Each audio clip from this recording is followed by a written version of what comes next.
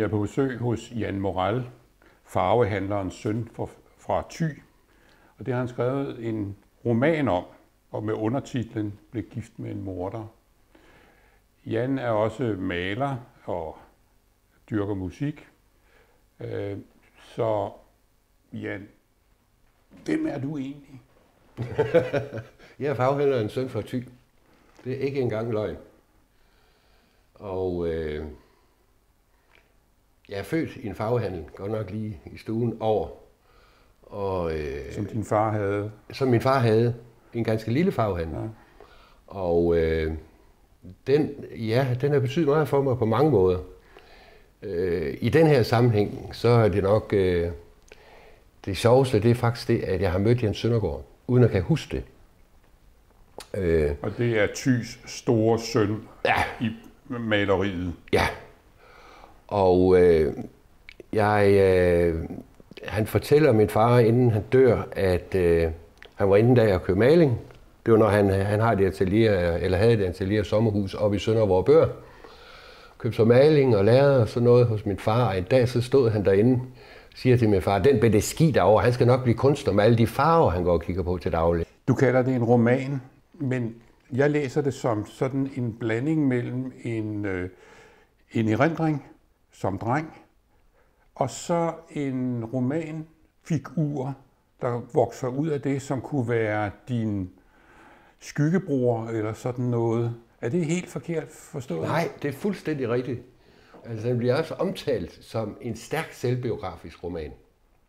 Men altså, jeg er nødt til at sige, at det er en roman, som selvfølgelig, det tror jeg alle romaner gør, bygger på nogle oplevelser, nogle tanker, øh, man har haft. Men det der med erindringen fra at, ja. have opvokset i Thy, og så da du på et tidspunkt flyttede til Aarhus, øh, er der forskel på, at tror du, at vokse op i Thy, og så øh, ville være vokset op i Aarhus? Ja, helt sikkert. Altså, vi tyboer, vi øh, holder sammen.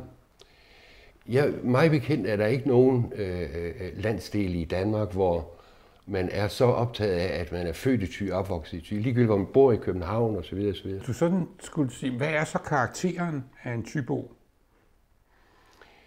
Karakteren af en tybo er et menneske, som er vokset op et sted, hvor øh, vestenvinden var grusom og var dejlig på, på øh, samme tid. Din hovedperson? Øh, Michael. Ja.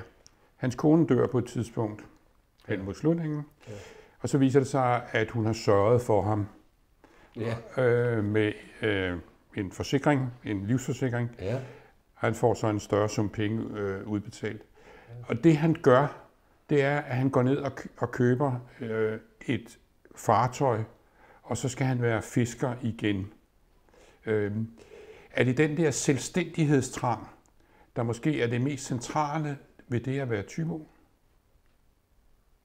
Jeg ved det ikke, men, men jeg kan genkende det. Altså, at øh, jeg, jeg er jo sådan en, der løsriver mig fra alting i, i livet. Sig pæn goddag til fru overlandsretssagfører Christian Larsen. Sådan sagde min mor, når vi kom gående ned ad fortorvet og fik øje på nogle af byens fineste og pæneste mennesker. I sekundet før vi mødte hende, trak min mor, mig pludselig, trak min mor pludselig et lomterklæde op af lommen, spyttede på det og tværede så spyt ud i hele mit hoved. Det kom godt nok bag på mig, og jeg fik det meget underligt som om jeg havde fået en ordentlig lusing.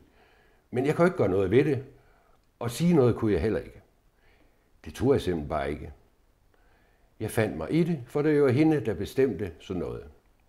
Jeg forstod det bare ikke, for jeg synes nu ikke, at jeg var så beskidt. Man har jo det der udtryk, der hedder øh, med begge ben plantet i den jyske muld, mm. eller den danske muld. Og jeg ved ikke, altså, jeg føler, at jeg står utrolig fast, selvom jeg også flyver, og min fantasi kører af med mig. Øh, og jeg ved ikke, om der er nogen, der har prøvet at stå i sådan en, en klit, hvor, hvor der kun er sand, og det er fint sand, og tung sand, hvor man så falder mere og mere ned i sandet. Man, står, man kan simpelthen ikke vælte, når man står i sandjord op til anklerne. Hvordan kommer farvehandlerens søn videre efter nu at have meddelt, hvordan tilværelsen var og nu ser ud?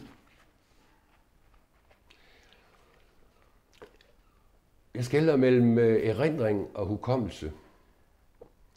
Øh, hukommelsen, det er det konkrete, man kan huske. Det kan være, at man kan huske, at barndomshjemmet var gult eller blåt.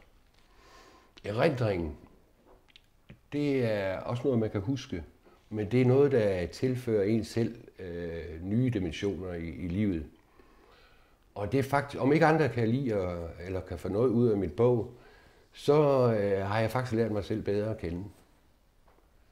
Og, og forstår bedre, hvad det er for nogle skuldre, jeg står på.